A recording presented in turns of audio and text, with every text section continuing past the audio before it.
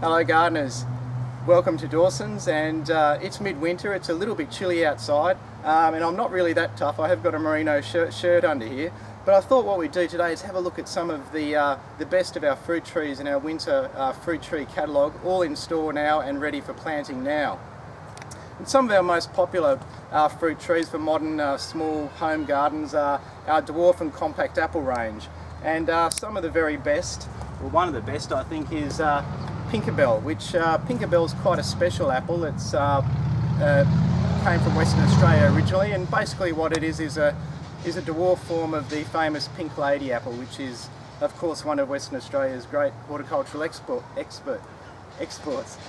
Uh, the uh, Pinkabelle uh, apple is a is a great one for modern gardens because it, it's quite compact. It only grows to about two metres high as its maximum height, and it grows to about a metre, metre and a half wide. And you can actually see behind me in this uh, tub um, a fairly mature example of Pinkabelle and you can see it's got this fairly um, you know upright you know column type shape um, very upright branches and you can see all the lovely fruit spurs on here. And this this tree here is probably about 8 to 10 years old and this is you know sort of the mature height you can sort of look forward to you in your own garden so around 2 metres.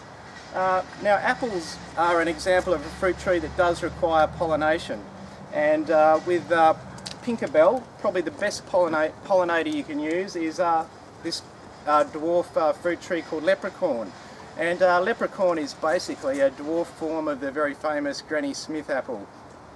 And uh, those two, that, that pair of uh, Pinkabelle and leprechaun is really a match made in heaven. They really pollinate, pollinate each other beautifully and you, you can look forward to lots and lots of apples. So you'll have a lovely green apple in the, the uh, Granny Smith style uh, leprechaun and your beautiful pink, pink skinned apples of the, uh, the Pink Lady. So these are terrific apples. You can grow them in a, a large uh, tub or something like a wine barrel. You can keep them in permanently.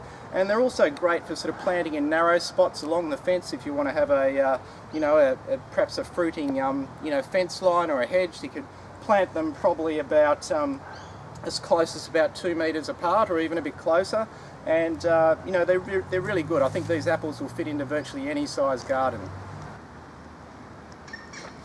One of the, uh, the first fruit trees to come into blossom each season is, is of course the almonds. And to me I think they're really worth growing for their ornamental uh, uses apart from the um, you know the fruit or in this this case it's a, the, the almond nut that you get from them uh, because they start flowering sometimes, you know, it's sort of uh, late August or even a bit earlier and uh, with that beautiful sort of blossom when it's still quite dark and a little bit dreary outside and they really are one of the heralds of spring and they're just you know really beautiful uh, small tree uh, that again fits into a lot of uh, modern uh, style gardens. Um, this one is a, again another uh, quite a special one. It is a, um, a dwarf self-pollinating almond. So this only grows to about one and a half metres to two metres high, you know about a metre and a half wide would be its maximum um, width and again this is going to fit into a pot beautifully or you could use it as a almost a large shrub in the garden. And uh, because it's so small it's much easier to net and protect those uh, almonds from the parrots which really do love almonds just as much as we do. And if you're looking for something a little bit uh, larger in terms of almonds I couldn't recommend more. Um, this is uh, our other new season's almond we've got in stock. This is uh, the all-in-one almond, which again is another self-pollinating almond. So these, you only need one tree to get um, almonds off them. And the self-pollinating almond, while it isn't a true dwarf uh, almond, it is quite a slow growing and, you know, in my experience, a very compact tree. It really only grows to about two and a half, three metres. And so again, it can be very useful, um, not just as a fruit tree. I think sometimes it helps to think outside the square a bit, and this is a tree that you could use in, you know, any small courtyard garden or, again, in a large container, and it, it's quite ornamental because you've got that, that lovely blossom. Um, they're a Mediterranean tree. They do very well in our climate. Uh, you know, bees love them, and, uh, yeah, self-pollinating almonds.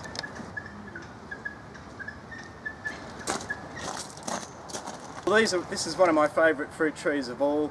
Uh, of course it's the uh, pomegranate and I just love them because I think they really are one of the best fruit trees for Perth because they're just so bulletproof. You know, they, they just, uh, you know, if you say you're not a great gardener, you can't grow fruit trees, well I'm sure you're going to have success with a, uh, with a pomegranate.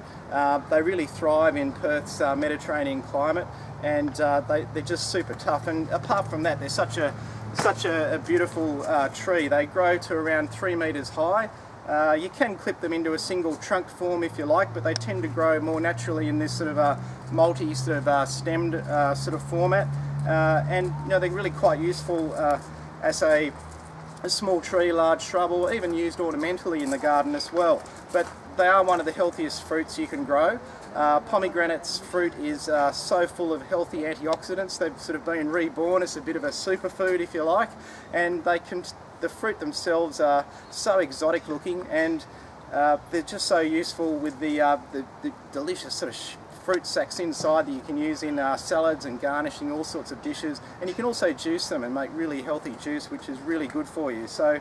Um, the fruit's so ornamental. They, they remind me of the Arabian Nights, you know, very exotic, uh, beautiful trees. So um, yeah, look, if you want a bulletproof fruit tree, you really can't go past uh, a pomegranate. And this is uh, one, it's actually a Spanish variety we've got in stock. It's called Mollar de Elche. Um, and Elche is a town in uh, Valencia in Spain where this variety hails from. So um, give it a go, grow a pomegranate. Now every now and then something quite new and different comes along in terms of uh, fruit trees and, and this is uh, quite an exciting, uh, relatively new fruit tree I think. It's called um, Spicy and it is basically a nectarine uh, plum cross which is really very interesting and um, this, this tree really has a number of strings to its bow. Um, obviously being a uh, nectarine plum cross the fruit is quite interesting. You get this sort of lovely um, you know, red blushed uh, skin and the fruit inside, the texture is as you'd expect from a nectarine but it's got quite an interesting um, tart uh, plum aftertaste. So it's a really interesting fruit to grow. You're probably not going to find this in the shops. It's something you'll have to grow and enjoy at home. Um, but the other interesting thing about this uh, fruit tree spicy is that um, the foliage is very ornamental for a fruit tree, especially in spring when the, the new foliage comes out. It's got a really lovely strong uh, red burgundy colour to the foliage, making it you know a really ornamental tree to have in the garden as well as being a, a beautiful fruit tree. So it grows to about uh, three metres uh, high and wide would be its ultimate height in the garden and um, you know that's a good size to try and keep your, your fruit trees. Okay, well I'm a bit of an olive nut, I just love the things and uh, they're also just such a wonderful tough fruit tree for Perth and, and most of Western Australia for that matter. Uh, olives are basically pretty much indestructible in the garden. They're just so tough, uh, a true Mediterranean plant and they just, they just love our magnificent Mediterranean climate in Perth. And uh, now's a great time to get them in. A lot of people are interested in pickling varieties, obviously, to make your own pickled olives at home, which isn't hard to do. And uh, we've got a great range of uh, famous pickling varieties in store now. And of course, probably none better than the famous uh, Kalamata, of course, a Greek uh, olive, uh, traditionally used for, um, you know, uh, black pickled olives. So it's picked when it's fully mature, you know, about um, uh, late April, May and used for pickling. Um, Kalamata is quite an interesting tree. It has sort of, you know, really large sort of uh, silvery green foliage. The leaves are actually a lot bigger than most other olives, but uh, it is a very famous olive and, uh, you know, if, you, if you're really interested in uh, pickling olives, um, Kalamata is probably one of the finest varieties you can use. Some of the best of the dwarf fruit trees are the Trixzie range of dwarf uh, stone fruit and these include uh, this fellow here which is uh, the, uh, the Pixie dwarf or miniature peach and uh, this is a, a really amazing little peach. It is a true dwarf. It only grows to a maximum of about one and a half metres high and wide and it's got a lovely sort of you know goblet shaped habit which you can see behind me here. This is a, a Pixie peach here so this one's probably been in the, uh, the raised bed here for a couple of years. Uh, it's probably about, I don't know, sort of 1.2 metres high now and about the same width. And you can see lovely sort of compact rounded shape and we did have quite a good amount of fruit off this uh, in uh, January just past. So it, it, sort of, the fruit matures about uh, you know, late February, uh, late January to early February each year. Um, you know, lovely sort of, you know, red blushed, delicious peaches. Uh, they're um, freestone uh, fruit, which is lovely for eating. So these are these are fantastic. Some of the the best uh, dwarf uh, peaches you can grow, and just fantastic in large containers, uh, small gardens, and tubs. So behind me here we have another one of these uh, Trixzie dwarf stone fruit uh, trees and this is uh, Nectazee which is a uh, dwarf uh, nectarine. So the same as the dwarf peach, this one is pretty mature now and it can grow to a maximum again of about one and a half metres high and wide and you know lovely shape. It's you know still dropping its leaves, we're still sort of only in early July.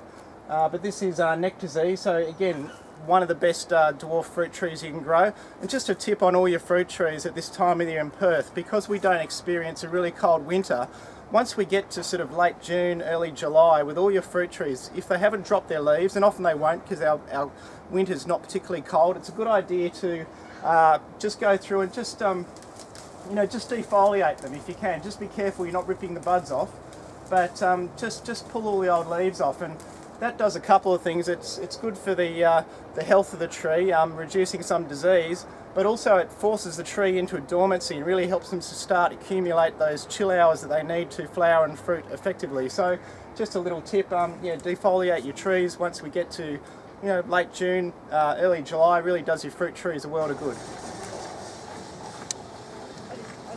Okay, so there we go. We hope you've we hope you've tempted you with some uh, delicious fruits to grow at home from our amazing uh, winter fruit tree catalogue which you can pick up your own free copy at all Dawson stores or this is available of course for viewing online at our website which is www.dawsons.com.au so um, get, get into fruit trees, it's a fantastic thing to do particularly for families and uh, kids. Um, so remember you know plant it, grow it, eat it, get into fruit trees.